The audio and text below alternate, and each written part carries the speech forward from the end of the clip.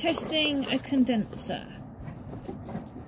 Touch the wires together to fully discharge it. On a multimeter, connect the negative to the body, positive to this wire.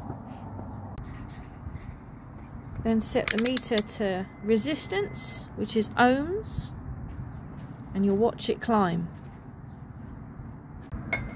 Leave it connected and switch the meter to volts. It should start at 1 and then drop to almost nothing. So basically what you just did was charge this up through resistance with the meter and then you discharged it with the voltage and it's working.